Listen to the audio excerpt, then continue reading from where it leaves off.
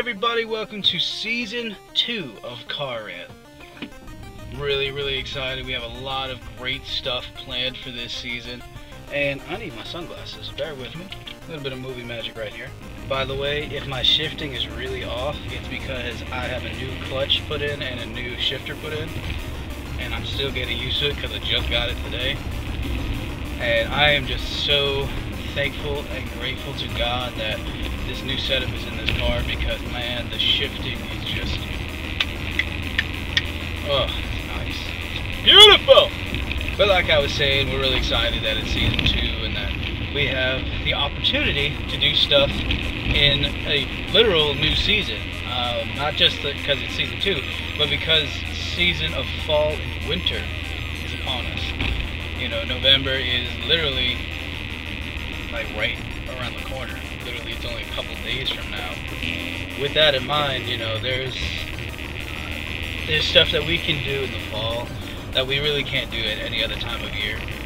And you know, there's just something about it. I just it's really hard to describe what it is about the fall time that we love so much. You know, thinking about this. Let's just let's talk about this. Let's talk about this.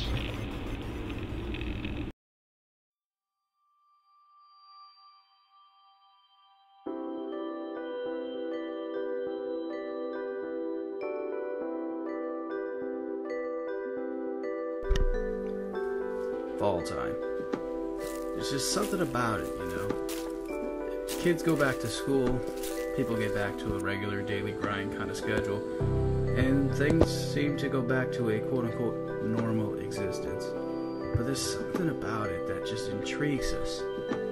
Could it be the changing colors, the crickets starting to chirp into silence? Or could it be the other things about it, you know? Crunch of leaves on the ground. What is it about this time of year that intrigues us so much? What is it that makes us love the fall so much?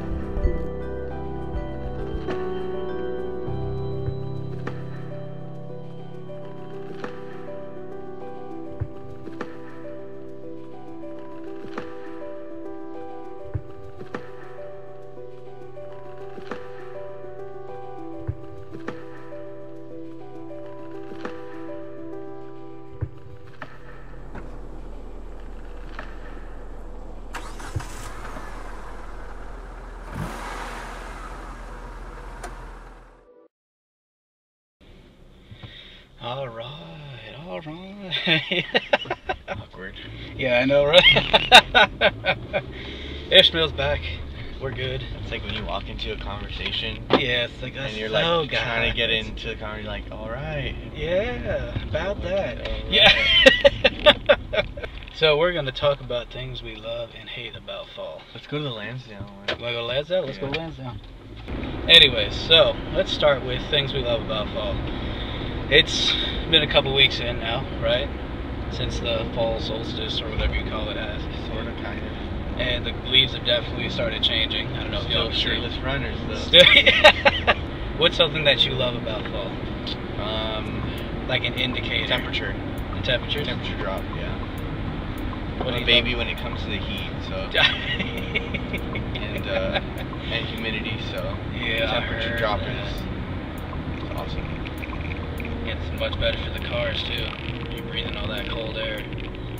Whether you have a cold air intake or not, man. There's just a noticeable difference. Feels good, bro.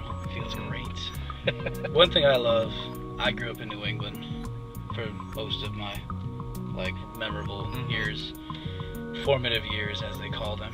And uh, for me, I, the society, I guess. I don't know. Don't just let don't let society get you down, man. but uh, anyhow, you know, one thing for me is definitely the changing colors. I lived in the middle of nowhere. You're racist, bro. I, what? anyhow, Can't talk and change lanes. Yeah, I can't. I got to think about it, especially with a giant truck. I got to think about this stuff. But um, no, I just I love the changing colors because it's the changing of seasons for me. that I just I love and appreciate. You know, you talk about the cold.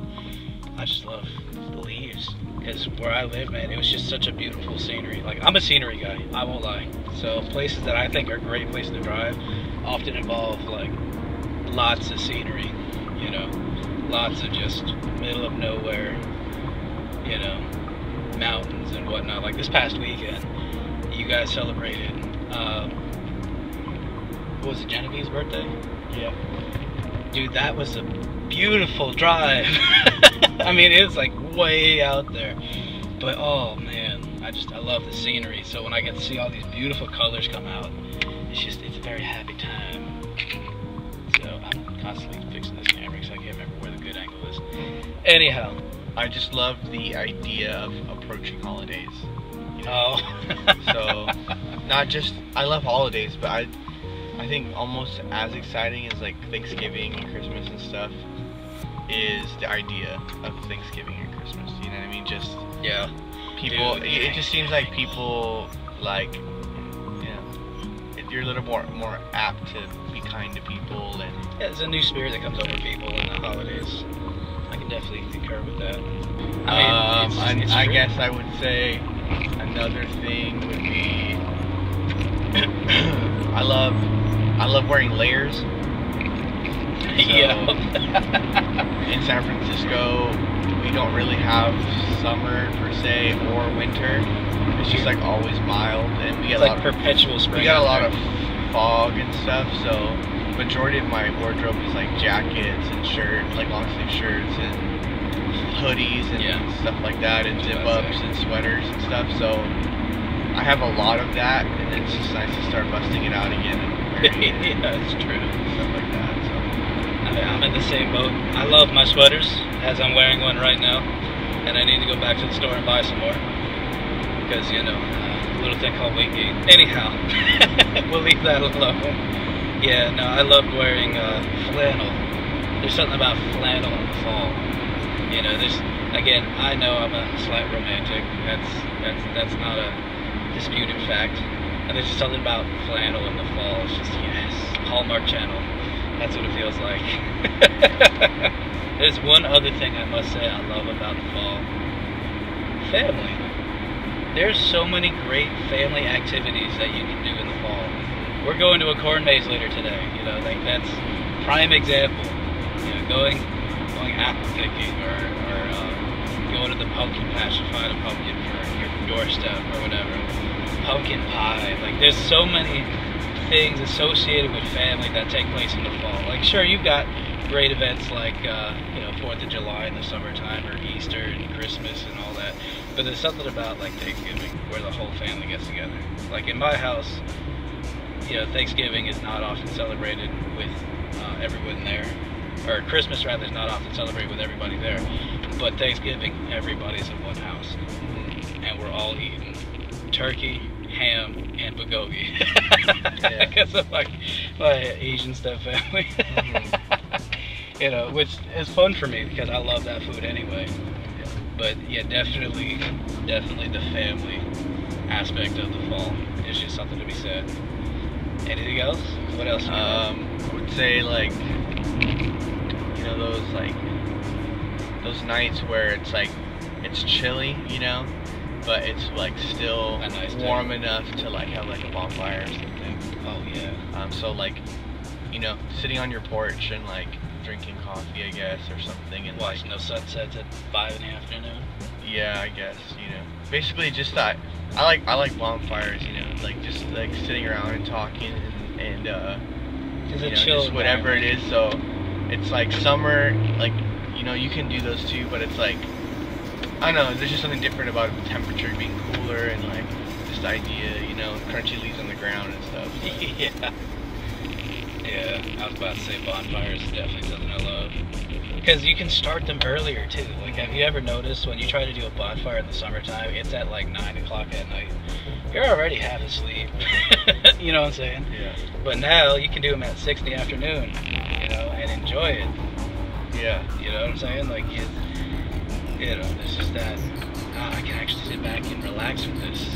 You know, I gotta ask though, would s'mores be considered a summertime thing or a fall thing?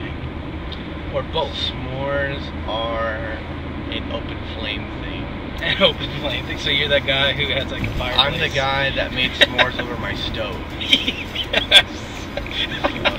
I am not Awesome. prejudiced to when s'mores should be made because they should be made all the time. You hear that, Starbucks? We want our s'mores frappuccinos back. Well, this guy does. I drink the sugar, sugar milk drink. Hey man, see, I'm the guy though that caffeine doesn't really affect much, so I have to have that huge sugar boost in order to wake up.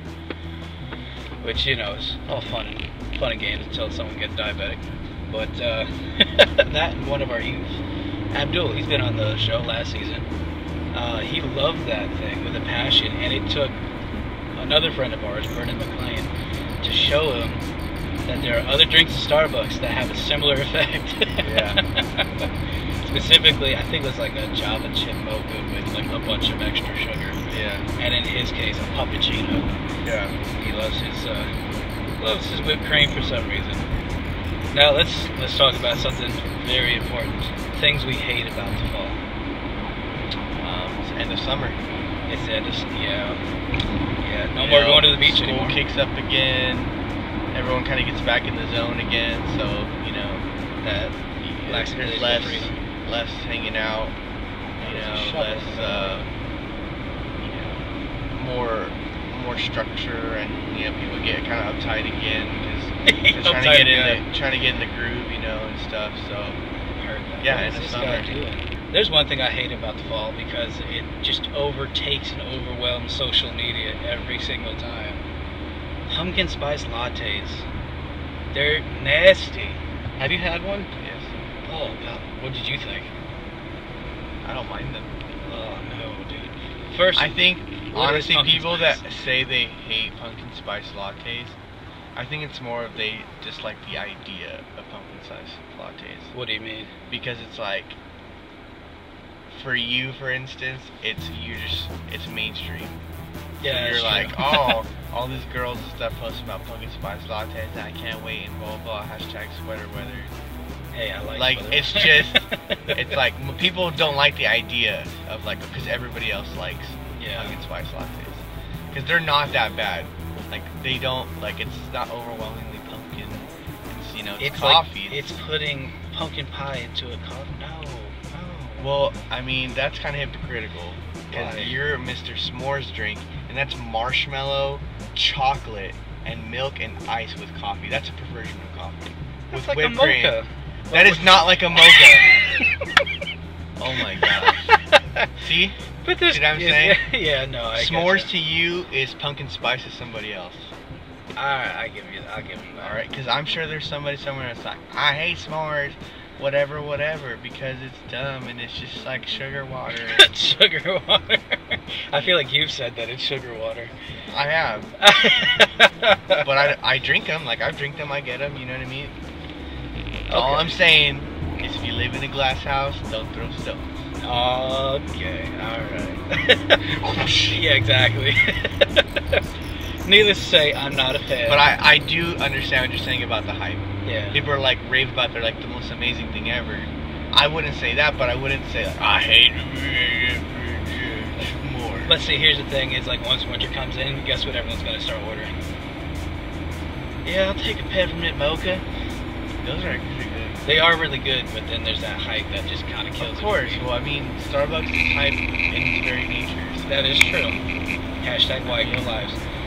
Honestly, like Starbucks like dirty water. I mean, I, I personally don't like their coffee. except you drink dirty No, no, this is layer cake patisserie right here. Yes, sir. And then that was layer cake from like a couple days. No, that's Pete's. That's from when we got Pete's a couple days ago. Hashtag I need to clean my car. What else do we hate about the fall? Um, or are there anything anything else that we hate about the fall? Probably having to prep your car for the winter. Oh, winterizing. Yeah, that sucks. Still the money, not necessarily doing it, but the money you have to spend. The cost. And is it I- actually I guess it's it? more annoying to me because we don't have to do that in California. where you live in California. Yeah. Here you have to make sure you have your scraper and your chains, or your winter tires, I and guess what's in my strong truck. battery, and antifreeze. and stuff. Oh, all that joy. And then you got to start your car in the morning, let it warm up. Otherwise, it's just like laggy. So Yeah. One thing that's nice about my car, I, I just gotta prop up this car for a second. When it comes to the heat, this thing absorbs it like a sponge. So like when the sun beats on on this car for any length of time, whether it's cold or hot outside, it's nice and toasty in here. So like some people I know they'll go and start the car early to make sure that this is warm, not that the engine is warm, but that the interior of the car is warm enough for them to actually like sit and Mhm. enjoy themselves driving. No, I don't have that problem with this car. next car I'm gonna get, I wanted to have the the engine warmer. Oh, So gotcha. just plug it in my garage. Just Just to get things toasted over. yeah, no, I'll just plug it in. I'll leave it in all night, you know, so the block stays warm.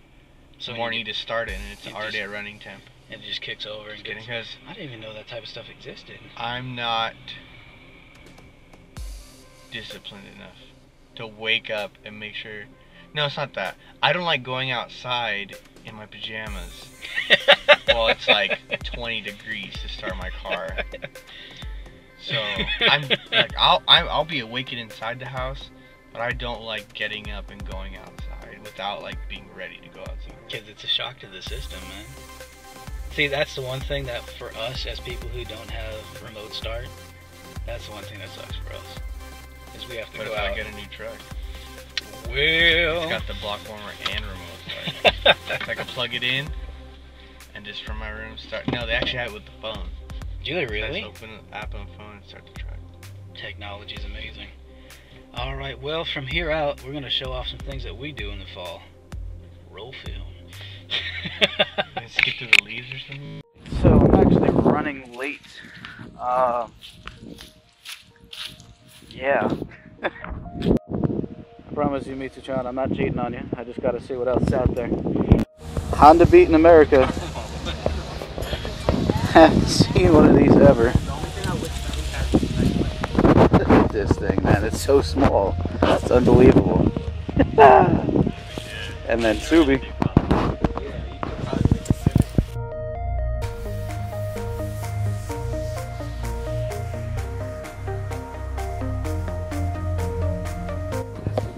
Yeah, this is an S2K. This is nicely built.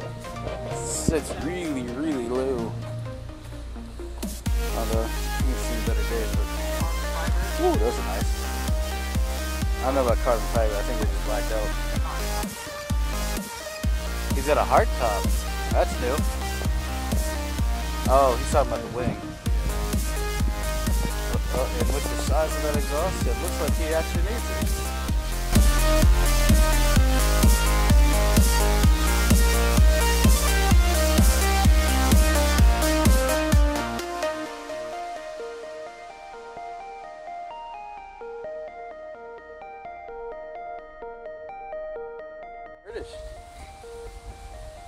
Drive on the safe side of the road as we do. Man, this is nice. And I love the I love the God Save the Queen bear in there. That's awesome. And he even has a handicap tag so you can park here. Nice. This is back when cars were built around a frame. Yes. Like that. That's that's what I'm talking about. Out with the men of the church today. Yeah, You excited for this? I'm, I'm, I'm ecstatic. Can't wait. Because you showed up and you're like, oh, hold on, hold on. Am I at the right place? It's awesome. The- Cars the- are uh, this, one prob- of a kind. Let's this say probably a good billion dollars of cars worth here. Pretty much, yeah. Because when you have something like this and that, well, that right there is already. Yeah, exactly. so much money on the lot right now. This is why nobody cares. We just pull up, pull up and show up. That's how it is. Who's out here admiring this Honda Prelude? And uh, I noticed a sticker in the back of this car. Looks familiar. I feel like I know that brand. Say what you will about Honda, but that is a noise setup. Good lord. This is for you, Ishmael, since you haven't shown up yet. Mr. Oh, I'll be there, and then he never even bothered to get out of bed. Crazy. Woo! And it's an Uber. this is another version of Ishmael's favorite. This is a 180. This is nice. Oh yeah. This, eh, nah, no, competition. No, can't have you. No. But this, yeah. The engine, from what I heard, because there's a guy that comes with us a lot, underneath that is a K, uh, K-swapped engine, which means it's not a BMW engine, which is why it sounds a little bit different, but that thing is cool.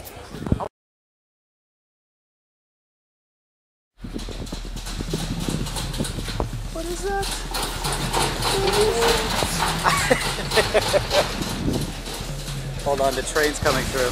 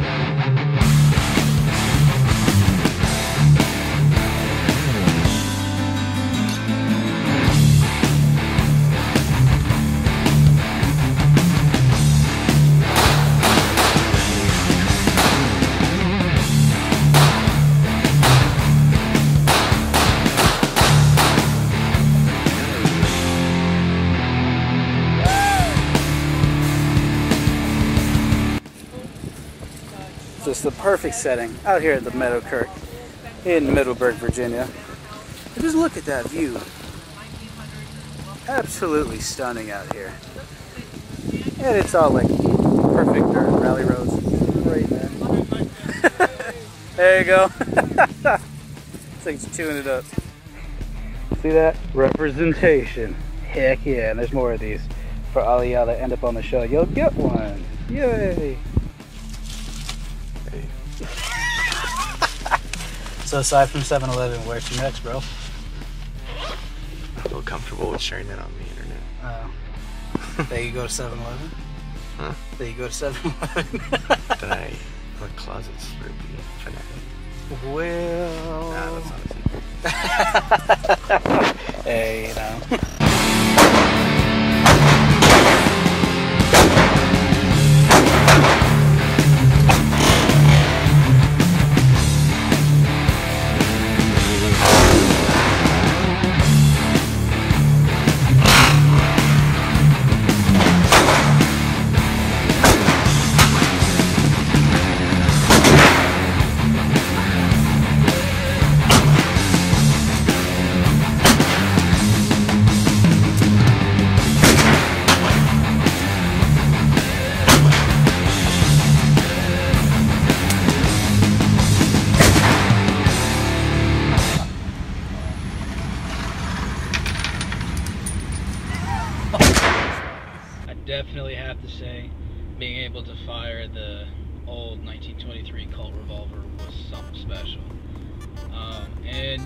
It's mine.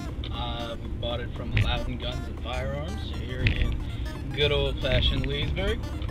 And uh, guys were really informative and whatnot. So if you are in the Leesburg slash Ashburn area, I definitely recommend going to look at uh, Leesburg Firearms for your weapons because there is such a very, very wide variety of guns to choose from, which is nice because that means you know the different strokes for different folks, method, uh, really plays well in their favor because they've got everything from good old school hunting rifles to you know, little fun 22, what we call pop guns, you know, um, a nice selection of target pistols. Like, there's all kinds of good stuff back there. So, definitely, definitely, definitely recommend going to see them. Uh, just great people. And yeah, walking into the store, seeing that, going, man, that thing is cool. And then I looked down and saw the price tag, and wow, that thing's really cool. I can actually afford this right now.